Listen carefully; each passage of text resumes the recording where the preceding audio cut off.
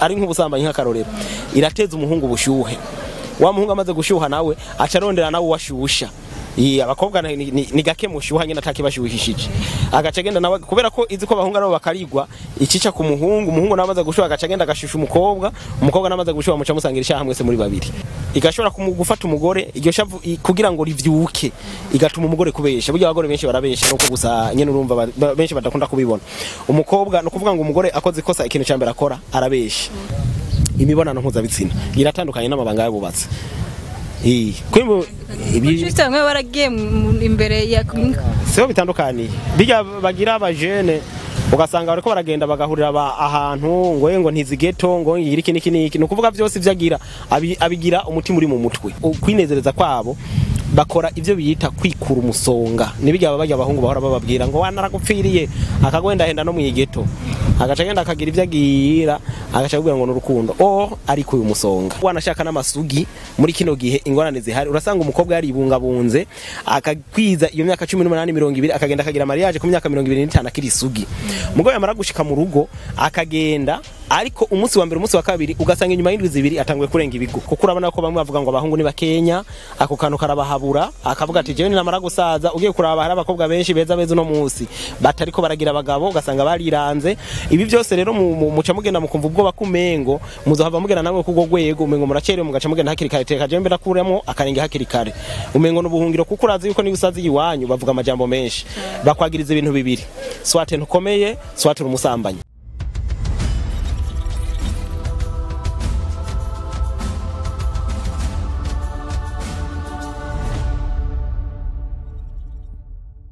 ndabaramukije abakunzi ba Isaac TV mwiriwe mwaramutse bivanye aho muherereye. Nkuko mubibona kuri micro ni Shanice Delicia behind camera ni Juma Jux. Nkuko mubibona rero no munsi ndi kumwe n'umu invité spécial ngira niko bivuga basha baboneka gake abantu nkawe urumva. Sindamuvuga arivuga wenyene yongere abaramutse. Ndakuramukije yego nanjye reka ndakuramutse gusa nuko utanguye mbeshera mwiramazani.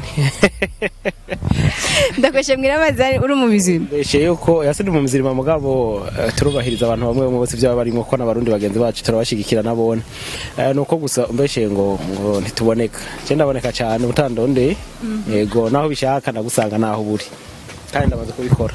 Yego uramaze kubikora gusa ava byose nari narakubuze jewe.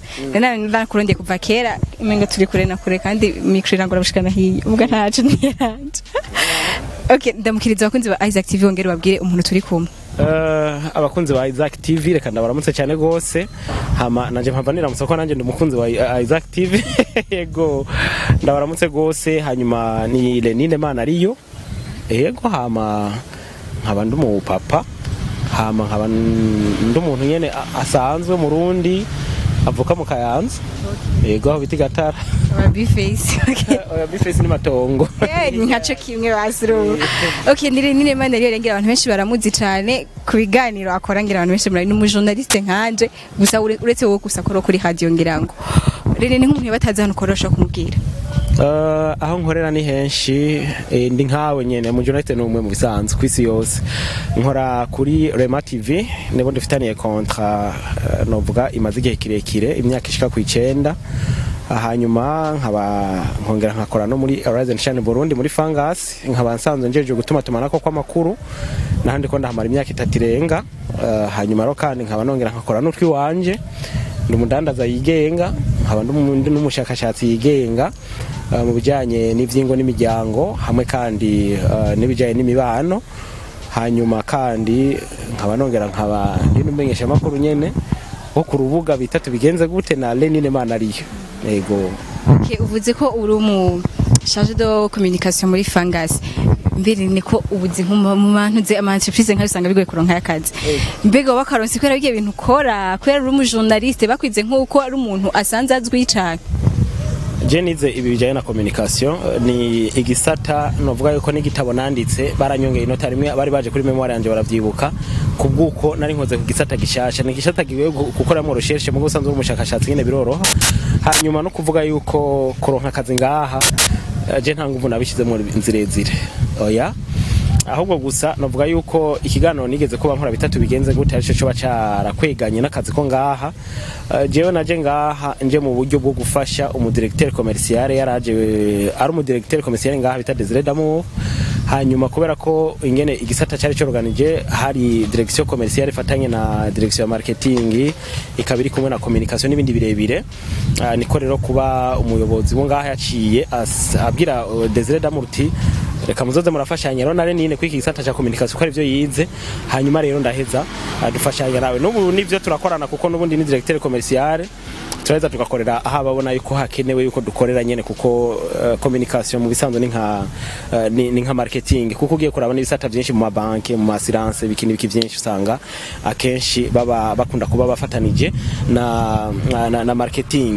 Ego ugasanga ni, mar- ni communication marketing. Ko benshi ni ho bitahura ivyo ari byo nanje nagiye kubitahura ku ishuri riheze maze guheza stage. Aha wavuze ngo uri umuhinga mu bijanye n'ingo n'imiryango nimba ntihenze. Yigenga ariko. Imiryango yigenga ushatse kuvuga? Uh, navuze ndi umuhinga yigenga n'umushakashatsi yigenga cyangwa umusesanguzi yigenga mbega waravyigiye cane Uh, nakubwiye ko nize communication sociale. Pana communication journalistique. Nagize communication sociale niyo option nagize. Sino faculté ni faculté de sciences sociales politique et administrative. Mugabo je ico nahisemo naciye mpitamo iyo option ya communication sociale. Ego kubera ko nabona ko muri societe hari ingorane nyinshi. Uh, sinovuga yuko ari ugukemura ibibazo bijyanye n'ivyo vy'ingo n'imiryango gusa ariko ni muri ni societe muri rusange. Ndi umuntu nkunda ko habaho iyo habaye akabazo aha n'aha mba nshaka ko gakemuka. Ego kuko urumva isi mu bisanzwe igizwe n'ibibazo ugeze kuri afurika na yo urazi yuko bicaho ibibazo birebire. Ubu ushatse rero ko dukorana turakorana kandi bigaheza bikagenda neza kingiyohera no komise n'intahe yavyo Mm.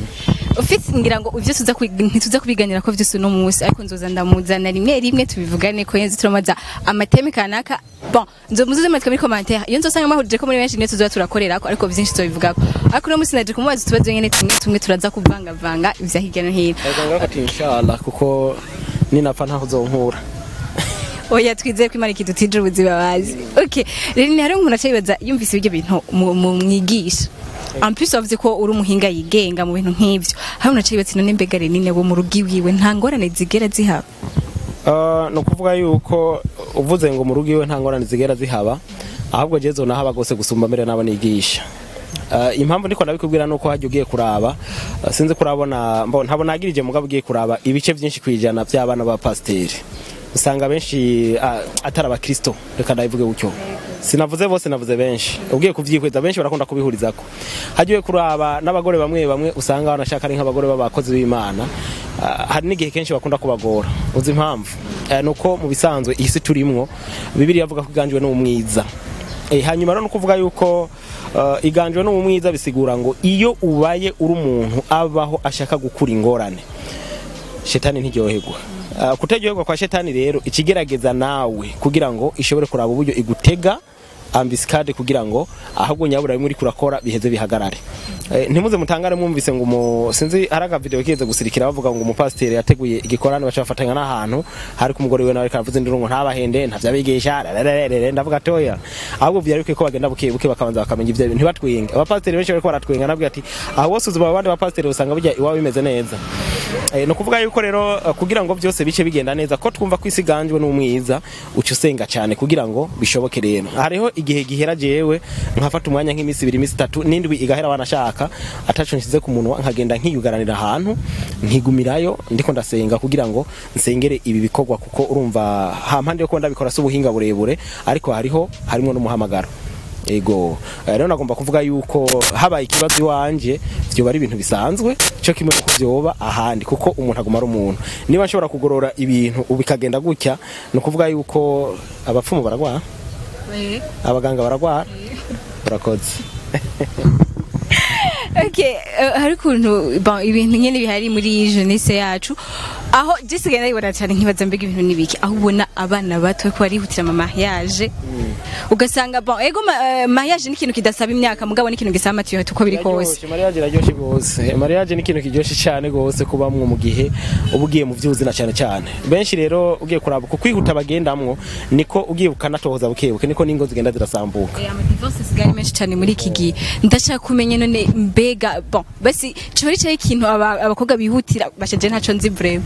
Ndakeneye mu nyezi gwe nico ikintu wowe ubona canke nico ikintu kize kiriyo kugira ngo twese vyihutire wowe ukunda umuhungu ameze gute? Ukunda umuhungu ameze gute? Uzakubwira ati Delisi nshaka ko twubakana.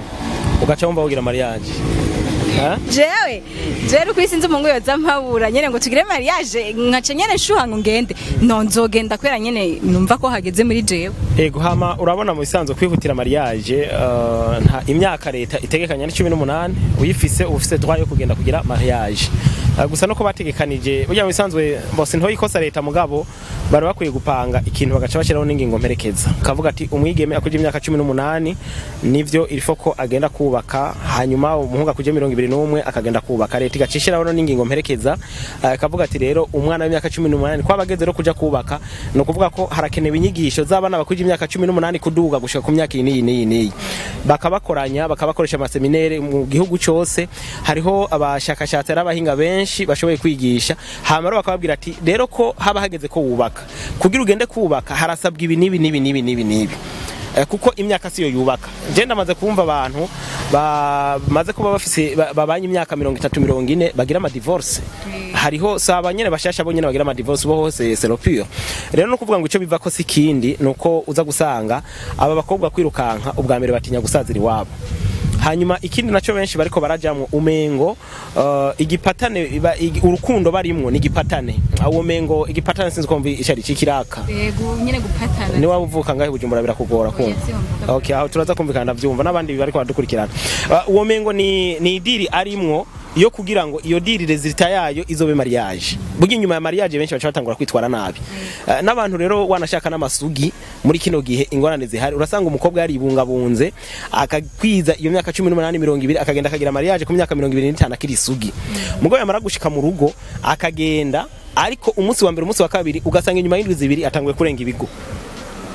Hari abantu bazi yuko ngo ngo jewe ngo natwara isugi ngo ntizonde ngo ntizoca inyuma. Ngo ntizo Niko bavuga ngo ivyo nye biba bivanye n'akageso. Ingeso ingeso ni ikidaboro. Ingeso ni ikintu nyene wowe ukurana muri wewe canke ngo babivana ngo n'ibintu aba ariko yarabuze nta muntu avukana ingeso ingeso ahubwo ni ikintu ingeso ni ikintu umuntu yiga acigishijwe n'ubundi muntu. Ni ukuvuga rero yuko ahubwo ingeso umuntu yoza kurondera umuntu yagize ingeso ya mbere yitwa nde? Kandi ni nk'uko ingeso n'abavuga ngo irara ntihwera hari abantu bahinduka bagahinduka burundu. Ego hama rero no kuvuga yuko uh, uku kugenda kubaka rero bihuse nuko baba batinya kuko urabona ko bamwe bavuga ngo abahungu ni bakenya ako kantu karabahabura akavuga ati jewe namara gusaza ugiye kuraba hari abakobwa benshi beza beza uno munsi. Batariko baragira abagabo ugasanga bariranze. Ibi byose rero mu- mu- muca mugenda mukumva ubwoba kumengo muzohava mugenda namwe kugo gwego umengo muracerewe mugaca mugenda hakiri kare. Teka jewe mbere akuremo akarenge hakiri kare. Umengo n'ubuhungiro kuko urazi yuko niba usazi iwanyu bavuga amajambo menshi. Bakwagiriza ibintu bibiri. Swate ntukomeye swate umusambanyi no ku muhungu nuko. Ni ukuvuga rero ko ni ikintu muri sosiyete twisangamwo Ah, uno munsi ugasanga ni ibintu biriko biratera amagorwa abantu. Ugasanga umukobwa ariko aragorana muhiri wabo mu- muhira k'umugabo wiwe. Ugasanga umuhungu ariko aragora umukobwa. Kubera ko ivyo barimwe ntibazi ivyo ari vyo I- hari ivyo rero ndiko ndandika muri iyi minsi ndiko nakora ko ubushakashatsi. Ikivuga ati mbe ni kubera ko umuntu yubaka kubera ko umuntu arongora. Kubera ko umuntu arongogwa kubera ko umuntu afata umwanya akavuga ati genda agiye kurongogwa ngiye gufatana n'umuntu uzobana ubuzima bwanje bwose. Mugabo ugasanga biranze inyuma y'indwi zibiri ukwezi muvuganye n'umuntu ugaca wigira iwanyu. Akandi kose kabaye ugaca wigira iwanyu. Iyo uhafise na cyane cyane kenshi barakunda kuvuga kenshi amakosa akunda kuyata ku bagabo kandi mbwa naho mama tugiye kuraba naho twakusinzi abagabo ntibatanga hasiyo abagabo ntibagira minavare y'abana. Ivyo byose kubera ikintu eh kubera ikintu kubera iki wayi haguma guka by'abajamba abagabo? Eh, mw'isi nakubwiye ko iganzwa n'umwiza burya ikintu bita urugo ni ikintu eh, ugiye kuraba no muri bibiliya ni umugambi w'imana.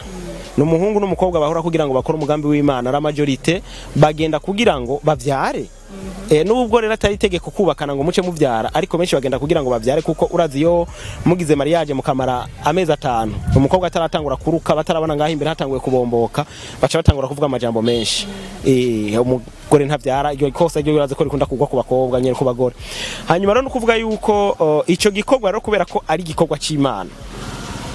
Bica bituma baba ba, ya, shetani nakubwira wa mwiza aganje isi ashaka kuza kuvuruga rwa rugo kuko burya nta kintu mwisi kiryoshe nk'umugabo n'umugore babanye neza. Iyo rero babanye neza mukaba mubanye mwumvikana ni ukuvuga ko n'iterambere cyagizana kuko ni urukundo dusabwa. Urwo rukundo nabwo rero rurashya ruheza rukabyara ubumwe.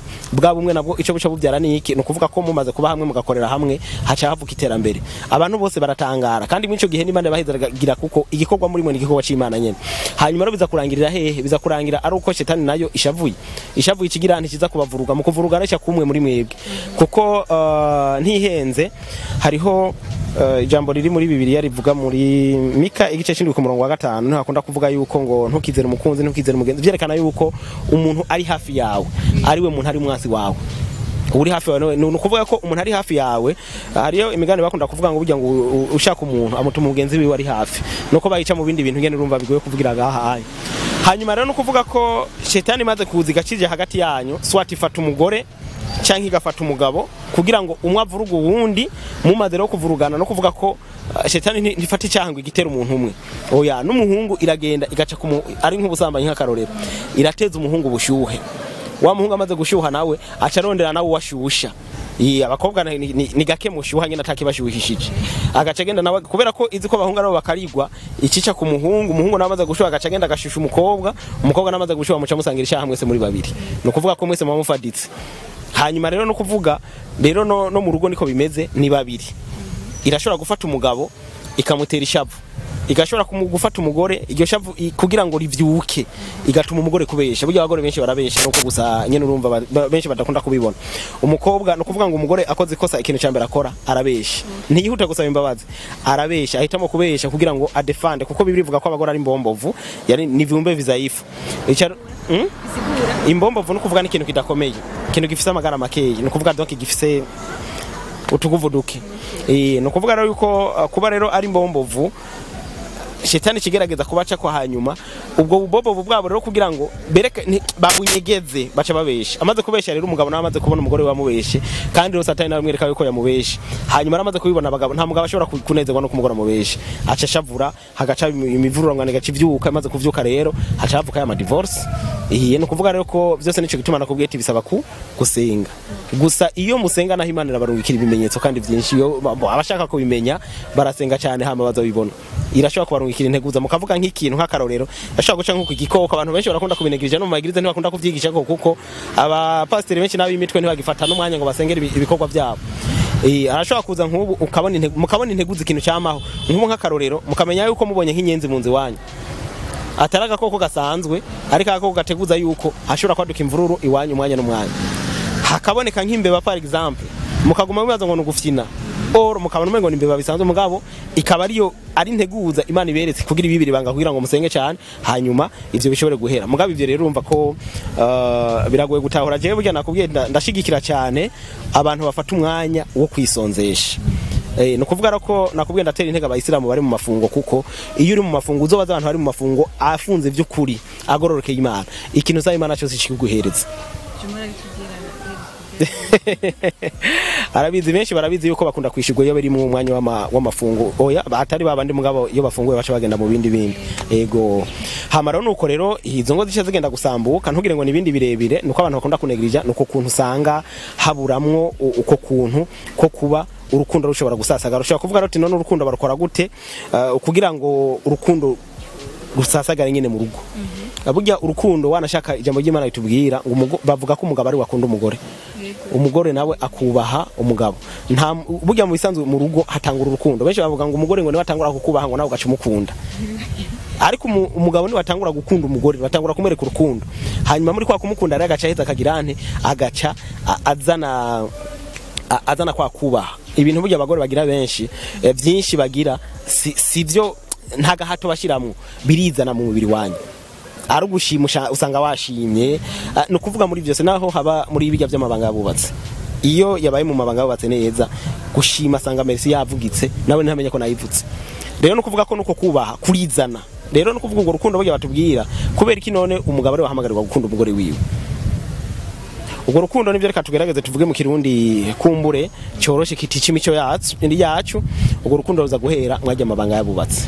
Nicyo gikorwa nyamukuru. Naguciye muri nanje mpamvu abantu benshi bavuga ngo iyo bijya bigenze neza. Ngo n'urugo ruba ruhejeje kugenda neza. Byo bari ibyo iyo bigenze neza rutegeza kugenda neza kwa kubaha. Niko kuzana ukubaha burya rero abagabo kenshi bikunda kugora hari abagabo usanga banegirije ugasanga wewe ivyo arimwo enzo senga imana enzo gira ikini kini kini ifoko abantu bavyumve. Abagabo ifoko muba clair mukaganira n'abantu bakuze mukaganira n'abandi bantu mukamenya vyinshi kuko uh, ibanga ry'abubatsi nico gituma bagise ngo ni ibanga ry'abubatsi. Eh, urumva harimo ibanga si ibintu upfa gukora uko wishakiye byose ugenda udabanganya ivyo ushatse ukuna kuri yanya ngo eh niki niki niki hariho ibintu bagira ngo vyo vyo busambanyi bijya bagira mu gusambana bijya vyama imibonano mpuzabitsina. Iratandukanye n'amabanga y'abubatsi. Juste bamwe baragiye imbere ya siho bitandukaniye bijya bagira abajene. Ugasanga bariko baragenda bagahurira ahantu ngo ngo ntizigeto ngo ngira iki niki niki. Nukuvuga byose vyagira abi- abigira umutima uri mu mutwe. Nukuvuga nta bari pose oro nibanga ritegerezwa guhabwa umwanya kandi rigakogwa umu- abantu bari bari pose nico gituma benshi rero bakunda kubahamagarira abashakashatsi bakababwira ati ni amabanga akogwa na cyane cyane mu gatondo n'umubiri waruhutse. Imibiri yaruhutse kuko si ikintu gisaba yuko ngo yengo nako ndihuta ngo urumva wenda haciye oya apana vya bindi ngo urumva ngo yengo ifa ngo unyarutse ngo kubera ngo ngomere ngo yarambwiye yuko ngo tuza kuvana ngo cangire oh, uh. no kuvuga yuko ivyo nta hantu na hamwe uzi umuhungu azokwigera nezereza umukobwa mu gihe baba batarubaka. Kuko murubatse ni gwawe uravuga ati jewe aho uko bigenda kose nibisanzwe ari ari hirya yejo ntaco bitwaye? Si ivyo kwama mu mwanya wose ni ni, ni, ni vyo gu- guhamagara numwe yumva akeneye ubundi akamubwira ati bimeze uku? Hanyuma urumva ko baradomekana bigakunda nibisanzwe mugabo rero urumva ko ayo mabanga rero mugabo umugabo nako ndakubwira ati iya yaranguye neza. Nico bita urukundo aho umugore wiwe. Na bibiliya irabivuga reka irabivuga mu bikorinto ba kabiri barasoma barabe. Hanyuma no kuvuga uh, uza gusanga rero abagabo batari bake baba hari ibyo bumvise cyangwa ibyo babayemo bakira abasore ugaca usanga ya ngendo bagenderamwe mu busore yamiza n'ubundi burya umwana w'imayibobo iyo umuhaye agakate mu kukakwaka aranyakura naho baramutanye muhira zo kwa gakata zo kwamakana nk'imisi yose aranyakura agaca yirukanka. Ivyo rero bagira ugasanga bariko baragira ba- ibintu vyo kubipana basubira bene ivyo rero no kuvuga ko biva hehe muri kwa kuntu usanga mu bujene bwabo canke uh, bivanye n'ibindi yagiye yumva uko yagenda arabikora agaca bandanya gutyo rero. Hanyuma rero no kuvuga ko uh, nakubwiye ko ari ibintu bisaba ko bakora bitonze iyo rero umugore yanezerejwe mwayo mabanga. Naho ataco mwoba mufise birizana kuko ateza kukubaha. Umugabo nawe ikintu cya mbere nyamukuru agwanira mu rugo iwiwe ni ukubaha. Icyo gihe uzosanga hari imvururu nke zibaho. Nizizoba uzosanga ari bavuga ngo karagaciyemo ntazibana zidakomana amahembe.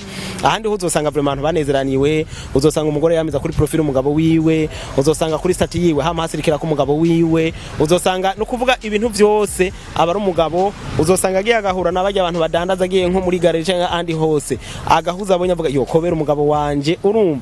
Ugasanga muri make mu mutwe we hasirikarayo amaraso asikirayo n'amaraso y'umugabo wiwe. Ni wa muntu bizogora no kugira ngo aje kurenga ibigo. Hanyuma rero umugore nawe ro contraire. Iyo ivyo yabibayemo nabi. Ni ba bandi uzosanga mu ibarabara akenshi. Ibice mirongo umunani kwijana bagenda basongoye umunwa. Ni ba bandi usanga ku kazi bafise umubano mubi. Abantu bafise abantu babanye nabi ku kazi usanga abagore bama imirimo isongoye. Umenye yuko abo bantu igihe cyose uzosanga kenshi bubatse nabi bivanye n'uko hari ibyo badakwirizwa. Ikindi naco nuko bagira ingaruka. Uza gusanga akenshi bafise inda zinganangana kubera hariho ingorane ziba bivanye n'ibivangavangana mu mubiri. Abaganga barabisigura kenshi hanyuma ugasanga rero inda zagiye ziravyimba ukibaza rero ngo ni ubuzima bwiza mugabo kumbe? Si n'inzoka mugabo ugasanga ni izo ngorane zo kurangurirwa nabi ayo mabanga. Hanyuma nuko baragwara n'amaguru bakaba barabena baka- hari abavyimba n'ubuso bw'ikirenge hariho kandi n'ukuntu bama bafise ibibazo vy'umugongo. Rero abagabo barakwiye kwikebuka bakaganira n'abandi bantu hari ababo usanga bafite ibibazo bitandukanye ugasanga ngo ngo turagowe uku nuku nuku nuku kandi bakavyiyumvamo. Kuko umugabo igihe cyose iyo yaranguye amabanga nabi ni ukuvuga arumva ko hari icyo atakoze arumva ko hari icyo atashitseko ategerezwa kugira complexe aramaramara. Wenyine ubwo imbere y'umugore wiwe. Umugore wiwe nawe acamufatira ngaho kuko faiblesse yiwe imaze kuboneka. Eh, kuko burya si byiza ko umuntu amenya faiblesse yawe kuko nihaca kwatakira kugira ngo gushire hasi. Mu buzima bwose. Okay hariyo ibintu bivugwa. Je ofite ndakunda kuganira n'abajene nkanje baba abahungu canke abakobwa. Eh, ugasanga ko bavuga ati urumva homme nta mugabo n'umwe uzoja hose dusanga umugabo akunda umugore umwe. Ntibikunda nawe rya pasiteri twama tubona harya ntibikunda ntibibaho ntihagire umugabo azokwishaka akunda umukobwa umwe canke umugabo akunda umugore umwe ntibikunda. Ivyo bintu rero biri mu bintu vya mbere bintuma ntinya ikintu citwa mariage bimeze gute ivyo bintu? Nyagusangira n'abandi. Hari ibintu bidasangirwa Ah, mbo urazi rero ndakubwire ikintu kimwe. Ugiye kuraba abagabo kenshi barenga ibigo n'abagabo batazi ayo mabanga ndiko ndakubwira. Benshi barabikora kugira ngo kuko bo ibyo baba bariko barakora biba bitandukanye no gutanga umunezero. Burya gutanga umunezero ntuhave baza ngo ngo ni ukuja kwinezereza. Baba ari babandi baba bashaka kwinezereza. Ni ukuvuga muko kwinezereza kwabo bakora ibyo biyita kwikura umusonga. Nibijya baba abahungu bahora bababwira ngo wanaragupfiriye akagwendahenda no mwigeto agaca agenda akagira ibyo agira agaca akubwira ngo ni urukundo. O ariko uyu musonga. Ni ho ujya ko abantu bavuye njyewe nkunda kubigereranya n'abantu bavuye mu Buganda. Abantu bavuye mu Buganda bakagera mu Rwanda bafise ibintu bagiye barajya bafise ibise- ibi- bijya bi- bintu batwara mu bintu bijya bi envelope. Ni ukuvuga ba- baza gushika ku kanyaru begeranije imicafu n'iyindi. Mugabo barenze ku kanyaru bagaca bavuga ngo ah ngo twashitse mu Burundi ngo uburongo murashobora guta imicafu yanyu. Uravyumva? Burya rero n'abasore kujya kuntu bijya bintu bafise ibikopo vy'amata bi envelope biki byose hajya akubwira ngo umubiri wamwankiye baranabwira ngo bararibwa sinzi ko muba mwabaye abaganga muze murabaha imiti y'inzoka. Hanyuma rero ugasanga umuntu muzima ni nk'uko wewe wa musonga wamufata ko umubiri wamuhindutse ni nk'uko afise imyanda mu ntoki. Akeneye aho agira ante ahayisesa kuko birakugena ugumanya ibicafu gutya mu ntoke. Nico gituma usanga n'ubu ndakunda kuvuga ati leta yari kwiye kuraba ingene igi- igira ibintu vy'amapubere kuko ah, biragora ingene umuntu bo- bobaza ngo ibicupa ibicafu n'ibiki n'ibiki. Kandi amapubere dufise kwibarabara.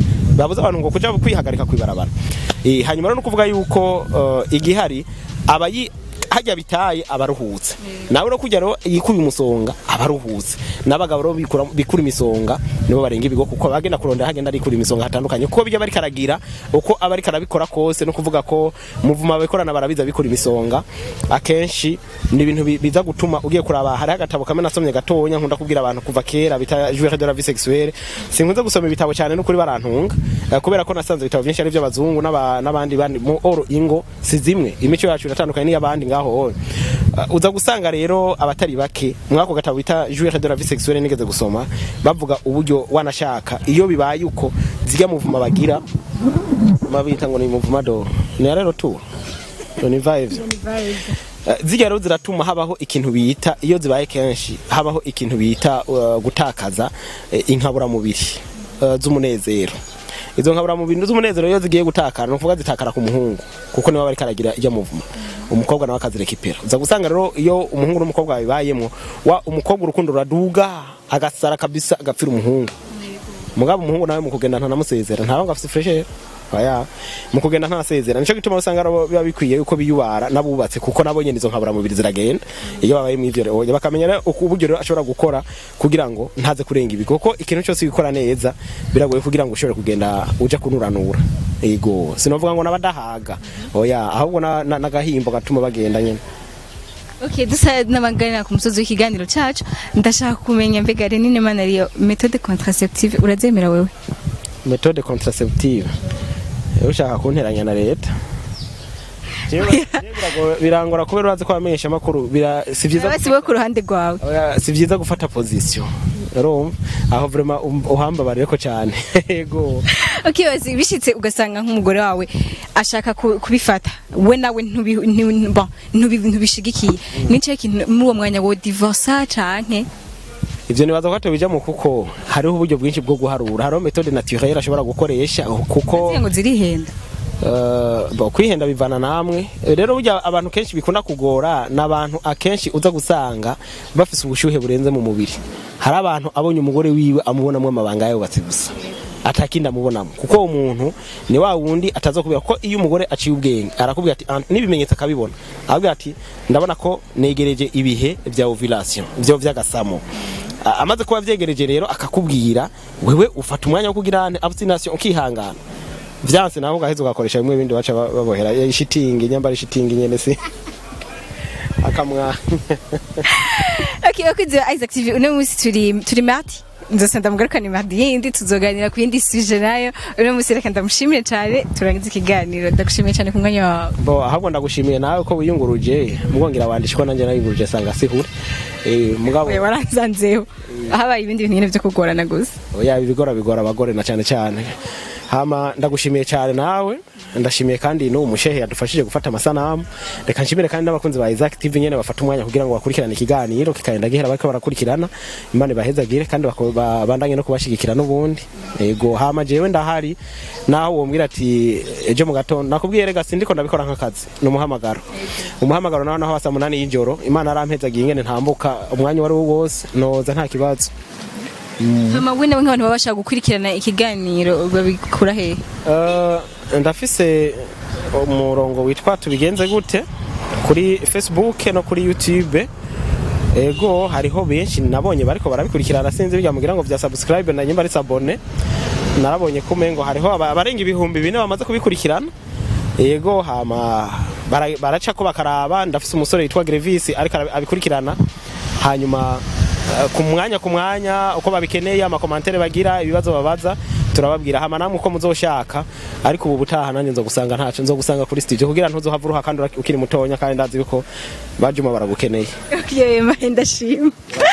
Okay, bakunzi ba Isaac TV murazi ko ndabakunda cyane ndabasaba mwandanye mbwira subscribe mudushigikire ama like amashare ama comment turabishaka cyane gose ndabakunda cyane gose ibyo murabizi. Ciao ciao.